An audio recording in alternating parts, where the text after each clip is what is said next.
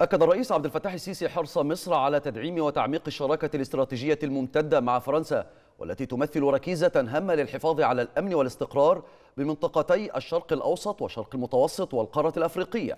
خلال اجتماعه مع الرئيس الفرنسي إيمانويل ماكرون بقصر الإليزي في العاصمة الفرنسية باريس أعرب الرئيس السيسي عن تطلعه لتعظيم التنسيق والتشاور مع الجانب الفرنسي بشأن مختلف الملفات السياسية والأمنية والاقتصادية ذات الاهتمام المتبادل.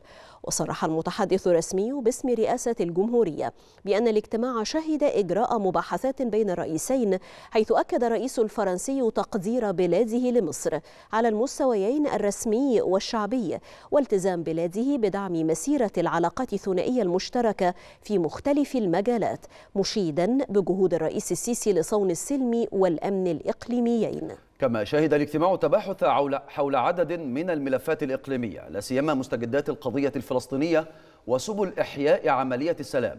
حيث أعرب الرئيس الفرنسي عن تقدير بلاده البالغ تجاه الجهود المصرية ذات الصلة بما فيها جهود إعمار إعادة إعمار قطاع غزة مبديا تطلعه لاستمرار التشاور مع مصر في هذا الخصوص.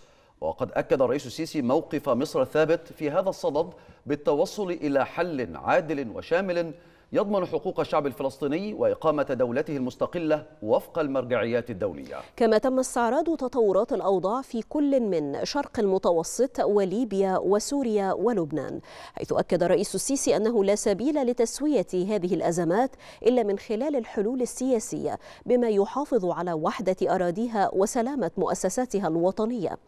من جانبه أعرب الرئيس ماكرون عن تطلع فرنسا لتكثيف التنسيق المشترك مع مصر حول قضايا الشرق الأوسط وذلك في ضوء الثقل السياسي المصري في محيطها الإقليمي مشيدا في هذا السياق بالجهود التي تبذلها مصر لدعم مساعي التوصل إلى حلول سياسية للأزمات القائمة. وأضاف متحدث الرئاسة أن الاجتماع تطرق كذلك إلى الوضع الاقتصادي الدولي الصعب الناشئ عن الأزمة في أوكرانيا. حيث تم التوافق على أن الوضع الحالي يفرض على كافة الفاعلين الدوليين التحلي بالمسؤولية لإيجاد حلول وآليات عملية تخفف من تداعيات الأزمة على الدول الأكثر تضررا. وأكد الرئيس السيسي في هذا السياق على رؤية مصر بأهمية إبقاء الباب مفتوحا أمام الحوار والحلول الدبلوماسية من قبل كافة الأطراف المعنية. كما أطلع الرئيس السيسي نظيره الفرنسي على استعدادات مصر الجارية لاستضافة القمة العالمية للمناخ كوب 27 بشرم الشيخ في شهر نوفمبر القادم ومساعي تنسيق الجهود الدولية لتحقيق تقدم ملموس حول قضية تغير المناخ والخروج بنتائج إيجابية من هذه القمة.